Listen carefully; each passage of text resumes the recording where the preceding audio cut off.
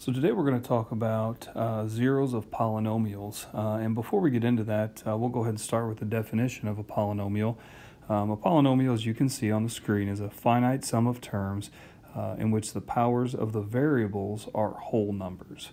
Um, now, just to review, um, whole numbers uh, would be the numbers such as 1, 2, 3, all the way up to infinity, uh, including the number 0. Uh, so those would be the whole numbers, and uh, a requirement for something to be a polynomial is that the, the exponents on the variables are those numbers, those types of numbers. So we're going to start studying now uh, zeros of polynomials, which um, in its most elementary form is actually something that you, you should be somewhat familiar with. Um, so a zero of a polynomial uh, is really nothing more than the solution or a solution to a polynomial set equal to zero. Um, which really, again, the, the familiarity to this uh, should be quite evident because a polynomial set equal to zero is essentially just you finding uh, the x-intercept. Uh, so that's what the majority of what we're going to be doing uh, in this section is, is just finding the x-intercepts. Um, and to simplify it, uh, to find an x intercept or to find a zero. Uh, it's always a two-step process. First, we always need to let y equal zero. And the second thing is to solve for x. The solving part here, that's really where we're going to spend most of our time. Uh, you've studied um, a lot of polynomials uh, set equal to zero. Um, you've studied linear polynomials, quadratic polynomials, uh, but now we're going to move into bigger things which are going to require more advanced techniques. Um, so the first example that we're going to look at actually uh, is the linear polynomial ax equals b. Now to be clear, we do know this is linear uh, because all of the x and y, the variables, are of degree 1. So it is a polynomial, and more specifically, it's a linear polynomial.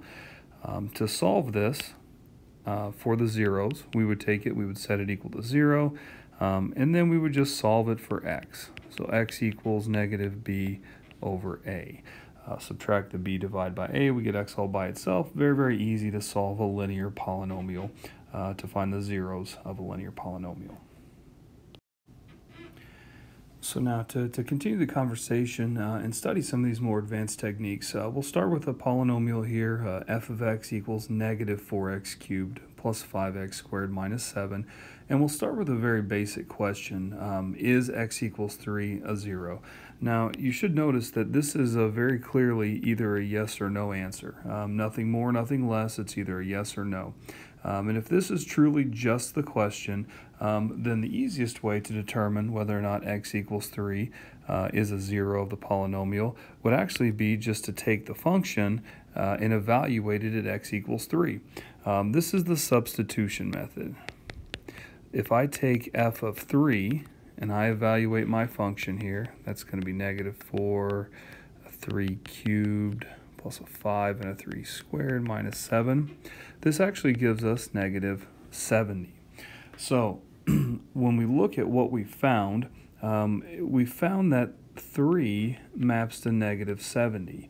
Uh, and so if you understand what an x-intercept or a 0 is, you can clearly see uh, that the answer to our question would be no.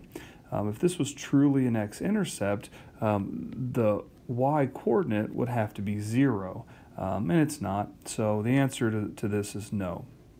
Now, again, it only answers um, by substitution the yes or no question.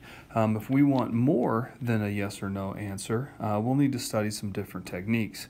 Uh, so I'll transition here into long division. And I'll go ahead and get this thing set up uh, with a negative 4x cubed plus 5x squared plus a 0x minus 7. Remember, we have to have our placeholder so that we decrease sequentially.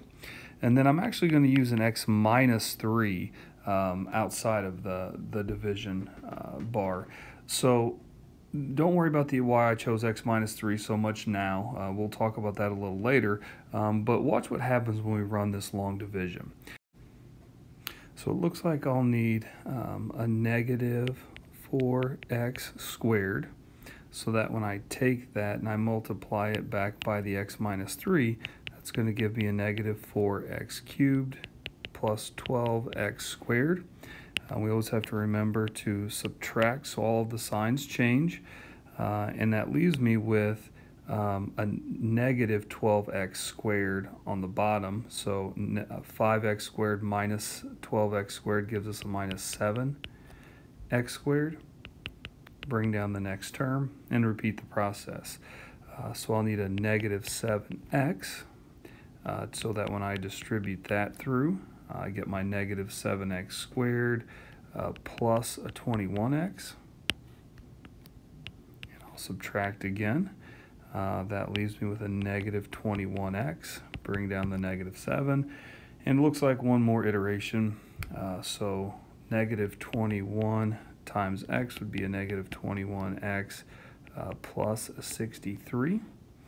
We'll go ahead and we'll subtract one more time. And you can see that actually gives us a negative 70 there at the bottom. Um, that negative 70, uh, that's of course the remainder. Um, and it's no coincidence that the remainder of negative 70 is also the y coordinate or the output uh, by the substitution method.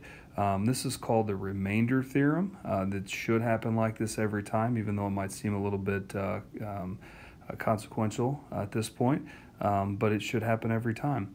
So notice though what happened. Not only were you able to answer the yes or no question by looking at this remainder, you also got a little more information out of the, the, the problem. You also ended up with a quotient.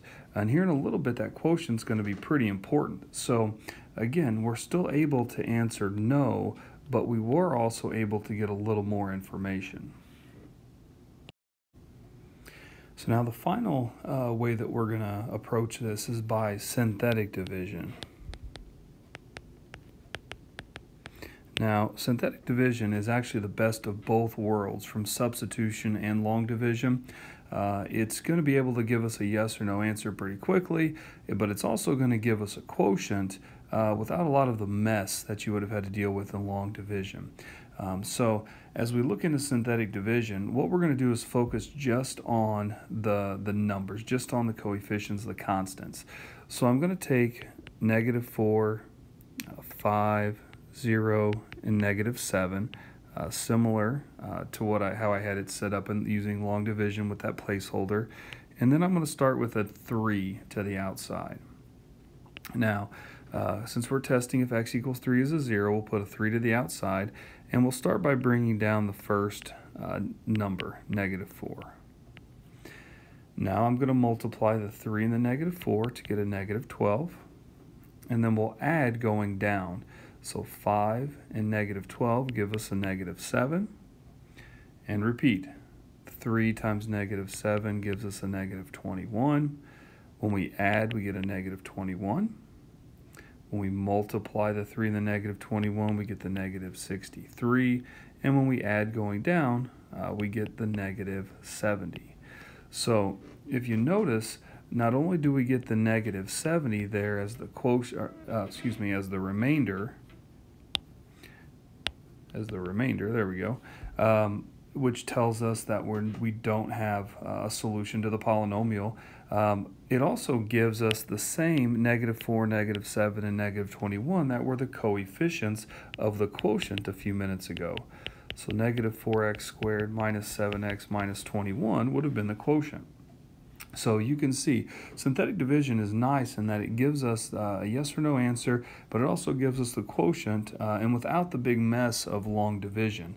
Uh, so we're going to use this now in, in order to solve some of these polynomials and try to find their zeros.